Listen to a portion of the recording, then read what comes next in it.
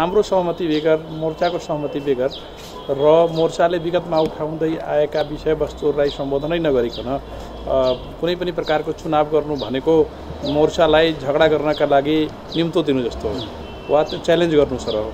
त्यसैले हामी के भन्छौँ भने हामी सबैले विगतका समस्याहरूको समाधान गर्दै चुनावी प्रक्रियालाई अगाडि बढाउँ भन्ने हो।